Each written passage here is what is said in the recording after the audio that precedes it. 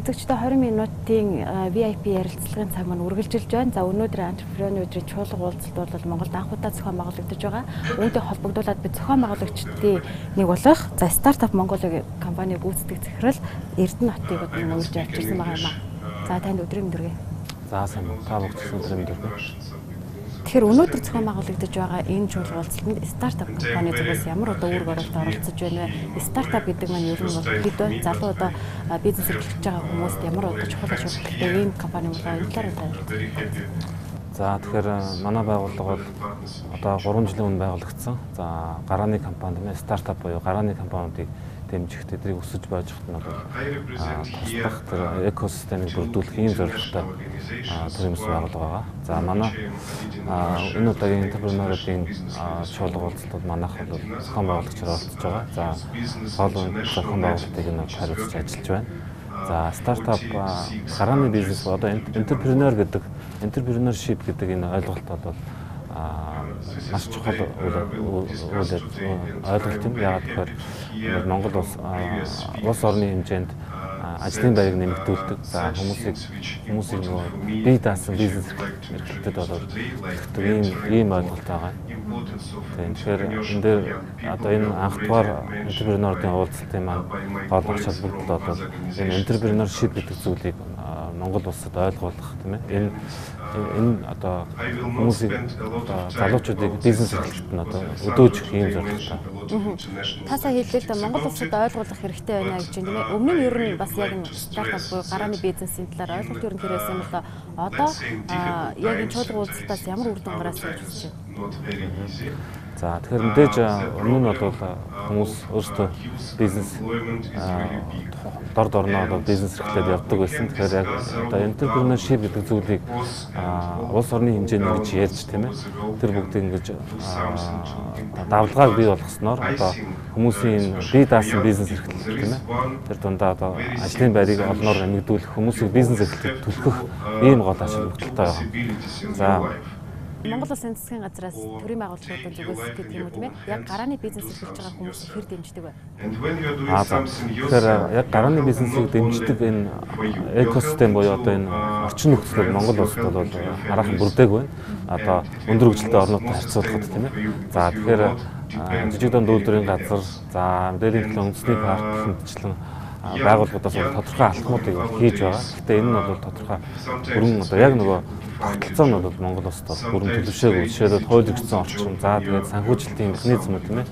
Жишээлбэл Монгол улс зөвхөн одоо мөнгө босгоход тийм ээ хөрөнгөний бирж нь бол хөрөнгөний зах зээл хөгжөөгүй зөвхөн зээл зээл буюу барьцаан дээр суурьсан тэр хөрөнгө оруулалтын хүүсвэр нь байдаг учраас за энэ одоо equity хөрөнгө оруулалт буюу тэр бусад venture хөрөнгө оруулалтын орчин нөхцөл нь бүрдээг байдаг.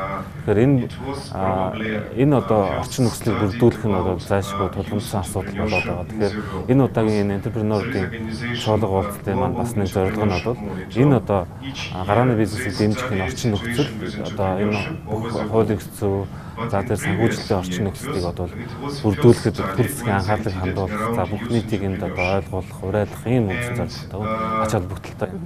Өнөөдрийн байдлаар Монгол залуучууд ер нь одоо шинээр бизнес эрхлэх, шинэ бизнесийн санаа олоод тэрийг өргөжүүлээд явчих.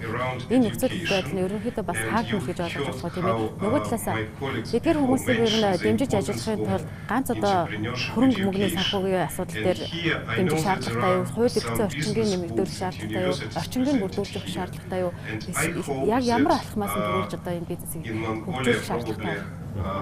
За тэгэхээр ер нь бол стартап бизнесийн одоо roadmap буюу тийм замын зураг гэж байдаг. За тэр хүмүүс үзэх юм бол яг тэр анх тэр бизнес санаа байхаас нөхсүүлээд одоо бусад хөгжилтэй орнууд явдаг шүү дээ. Яг санаа байхаас нөхсүүлээд тэр нь өөрөө одоо бизнес төлөвлөгөөгөө босруулаад компани одоо за анхны нөгөө хөрөнгө оруулалтаа аваад прототип одоо прототип буюу анхны бүтээгдэхүүнээ гаргаад зах зээл нэвтрүүлээд ингээд явах шат болгонд нь одоо дэмжлэгүүд байдаг. За санхүүжилт болон за бусад одоо одоо хурдсгуурууд тийм ээ. Одоо тэр бизнес моделээ боловсруулахад нь за тэднийг нөгөө бойжуулахад нь за нөгөө офис тийм ээ. Ажлын байраар хангах За санхүүжилт гарааны одоо seed одоо фонд буюу анхны тэр хөрөнгө оруулалтыг нөхөх гэх мэт чинь олон дэмжлэг байдаг. Тэгээд энэ бол Монголд бол тэр төдийлөн бол сайн хөгжөөгүй. Энийг бол заашгүй хөгжүүлэх шаардлагатай. Манай стартап Mongolia төрөөс байгуулга бол яг энэ орчин нөхцөлийг Монголд бүрдүүлэх талаар бол одоо ажиллаж байгаа юм төрөмс олоо. Шинээр гарааны бизнес эрхлэж байгаа залуучууд юу байх шаардлагатай? За шинээр гарааны бизнес эрхлэж байгаа залуучуудын хувьд бол анхаарах гол зүйл бол ер нь бол бизнес эрхлэхэд хамгийн чухал зүйл бол мэтршгүй тийм ээ. Одоо тэр бизнесийн хадлаа тууштай явах тийм зан чанар бол хэрэгтэй. За тийм байхад бол бизнес эрхлэхэд заавал тийм одоо хамгийн шилдэг сургуулийг төгссөн байх албагүй тийм ээ. За айгүй тийм IQ өндөртэй ч юм уу тийм байх албагүй. Тэгэхээр би залуучууд нь өөрсдөө бол яг тухайн бизнесээ хадлаа бол тууштай ингээд тэмцэх тийм чадвар одоо хүсэл эрмэлзэлтэй байх хэрэгтэй. А тийм байх юм бол мэдээж өөрийнхөө дуртай зүйлийг сонгож авах. Өөрөөр одоо миний хэлэх гээд байгаа зүйл гэхээр өөрийнх нь тэр хүсэл эрмэлзэл гэдэг бол хамгийн чухал байна. За тэгээд энэ дээр бол мэдээж тэр төрийн зүгээс за бусад зүйлээс дэмжих зүйл бол тусдаа асуудал тийм ээ. За ингээд өөртөө залуучууд бол өөрсдийн тийм хүсэл эрмэлзэл байхад бол бизнес их бол бүрэн боломжтой гэж бодож байна. Манай Монгол залуучуудын санаас санаачилсан сан бизнес санаа ер нь дэлхийн бусад улснуудад хэр өрсөлдөж чаддаг байна. За монголчуудын хувьд бол би бол хамтдаа гэж боддог. Монгол хүн бол дэлхийн ямар ч орны хүнээс бол дутхгүй тийм ээ. Одоо одоо оюуны чадвар тэр бүх зүйлээрээ тийм ээ. Одоо багаар ажиллах чадвараа ч гэсэн монголчууд багаар ажиллах чадваргүй гэж ярьдаг. Тэгвэл монголчууд бол айгүй сайн багаар ажиллаж байгаа ч гэсэн жишээ нь айгүй олон байгаа. За тэгэхээр жишээ хэлэхэд бол манай стартап Монгол байгууллагаас стартап викенд гэдэг арга хэмжээ зохион байгуулдаг. Энэ бол 54 цагийн дотор бизнес санаа гаргаад төслөө бичээд хөрөнгө оруулалт аваад ингээд бизнес босгодог ийм үйл ажиллагаа байгаа. За энэ үйл ажиллагаа маань бол Монгол улсад зохион байгуулагдаад тэндээс шалгарсан олон улсад өрсөлддөг. За энд бол Монголын хоёр ч баг бол өмнө бид нар 12 удаа зохион байгуулсан. Тэгэхэд бол хоёр ч баг бол олон улсад бол маш амжилттай өрсөлдсөн. Нэг баг нь PIP гэдэг аппликейшн хөгжүүлэх баг бол дөрөвдүгээр байранд орж ирсэн. Дэлхийд. За бас нэг Wiki Numbers гэдэг бас нэг хүсэл болоод бас 6 дугаар байранд орж ирсэн ийм амжилттай. Тэгэхээр ер нь бол монголчуудын яг энэ бизнес талдаа тийм ээ. За бизнесийг анханаас нь төлөвлөх за яг энэ entrepreneurship гэдэг талдаа үнэхээр яг тэр орчин нөхцөл нь байх юм бол монгол залуучууд бол маш сайн амжилттай явах боломжтой юм байна. Тэгвэл харагдаж байна. Төсөл бичээд тухайн төсөл амжилттай болж байгаа тохиолдол ер нь хэр олон байдаг бол их их залуучуудын нэг зүгээр миний сонсож ойлгосноор бол их их залуучууд төсөл бичдэг гэсэн хэдэж бодож төсөл дэмжигддэггүй эсвэл төслийг нь хүлээж авах байгууллага байдгүй гэж санагддаг л да юм тэгэхээр.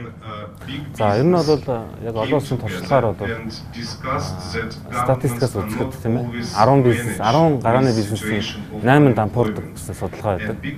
Хоёр нь л амжилттай байдаг тийм ээ энэ бол маш олон шалтгаантай. Монгол улс ч гэсэн энэ бол тиймэрхүү байгаа байх. Гэхдээ энэ бол бүтэхгүй зүйл гэсэн үг биш тийм ээ. Мэдээж. Тэгээд төр засгийн зүгээс ч гэсэн ер нь бол маш сайн дэмжих хэрэгтэй. Залуучууд нь өөрсдөө айгуу сайн хичээх хэрэгтэй гэж байна.